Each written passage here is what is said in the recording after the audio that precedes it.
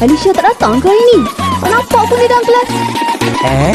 Kau ah. sedih ni sebab dia tak datang ke?